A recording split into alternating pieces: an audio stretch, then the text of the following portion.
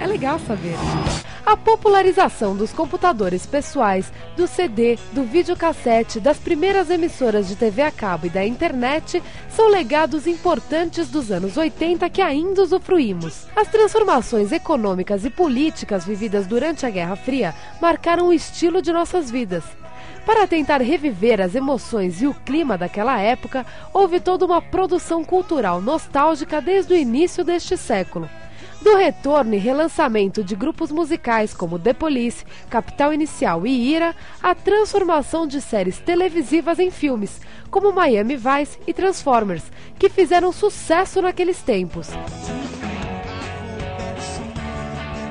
O House of Works explica como funcionam os anos 80. Para saber mais, assista a última parte desta reportagem e veja como essa década é lembrada até hoje. É legal saber.